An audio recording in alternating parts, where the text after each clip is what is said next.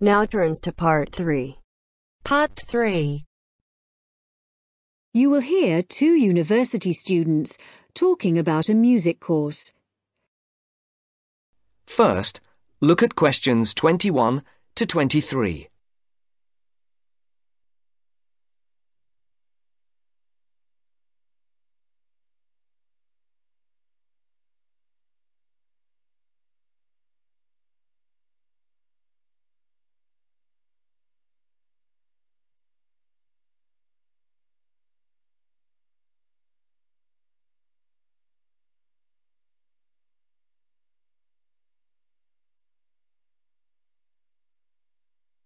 As you listen, answer the questions.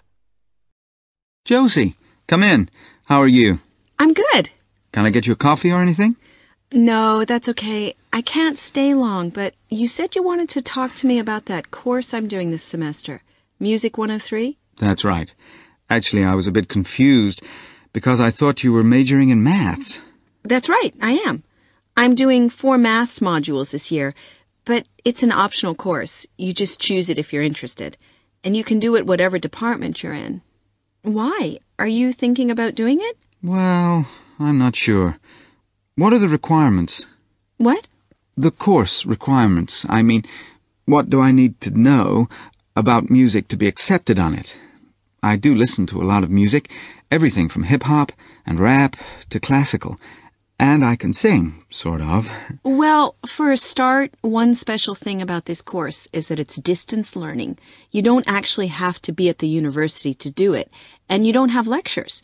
So you've got to be able to work on your own without someone telling you what to do all the time. Oh? Oh. No, that should be okay, I reckon. I'm more worried about the actual musical stuff. Like, I don't know how to read music. That doesn't matter. They don't assume that. You'll learn as you go along. How's your maths? Not too bad. Right. Some of it's quite mathematical, so you really need to be strong there. But you play the violin, don't you? I don't play anything. You don't need to. What about computer skills? You're okay there? Yes, reasonably. Does that matter? Yes, I'd say they're essential. Like I said, it's all distance learning, so it's computer based. Before the conversation continues, look at questions 24 to 30.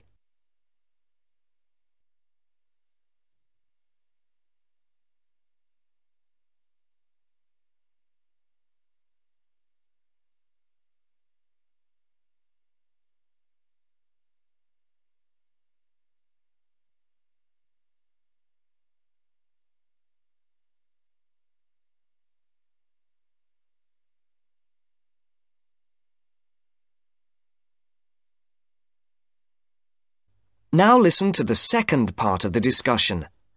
What about lectures? You don't attend any. It's all online. So lots of the students aren't here in Canada at all. They're studying from home all over the world. We've got someone from my group in Jamaica and a couple from Taiwan. Oh, and some from Hong Kong as well. So, how does it work? Oh, well, there's a multimedia course website on the internet where you can listen. You can listen and watch at the same time. And of course, you can do it at your own pace. So if you don't understand something, you just go back. Or if you want some more examples of the music, there are links there to things that you can listen to. There's quite a lot of theory, but it's all done through musical examples, so it's practical at the same time. Like in the last module I did, we looked at a bit of the music from the movie Star Wars. The Darth Vader theme, you know. Dum, dum, dum, dum, dum, dum. Yeah. then we looked at a theme from Wagner's Tristan and Isolde. Do you know it? Written in the 1850s, and we could see there were all sorts of parallels between them. And that's a feature of the course. We often look at modern Hollywood themes to illustrate concepts in classical music. Hmm, it sounds really interesting. Do you have a course book? No, we don't use one.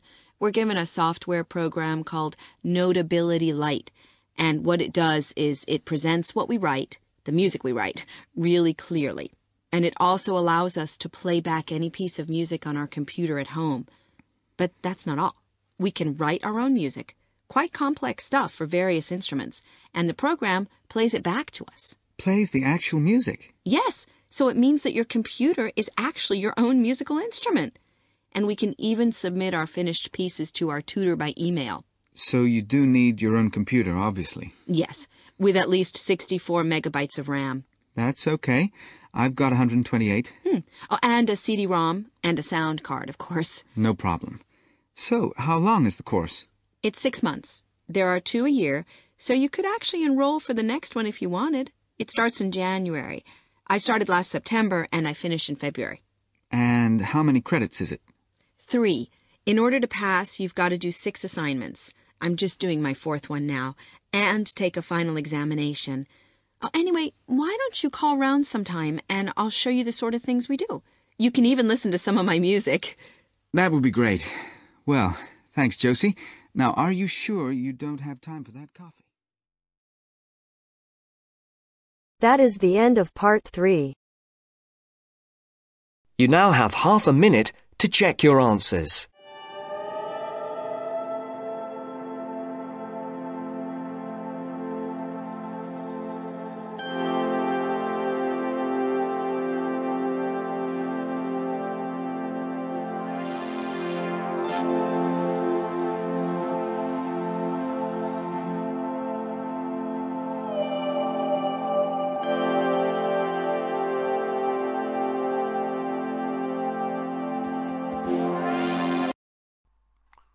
Hi, this is Bob.